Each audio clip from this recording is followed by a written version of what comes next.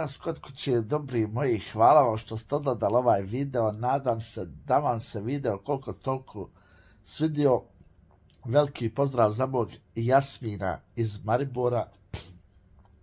Ja se još jednom izvinjavam, buraz moj, što nisam uspio da dođem kod tebe, ali bit će prilike, brate moj, znači pozdrav za tebe, za tvoju suprugu i za našeg malog. Kenu, Raju, samo miške, samo pozitiva, buraz moj mali i onaj šta sam htio da ti kažem.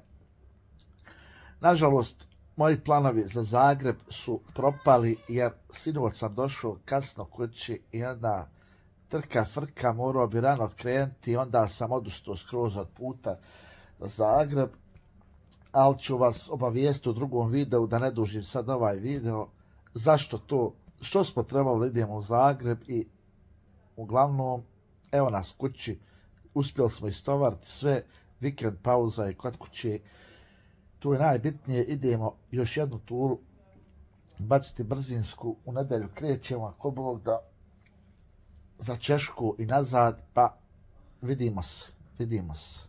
Ugodan ostatak ovog sunčanog dana u Sarajevu i... Ćao!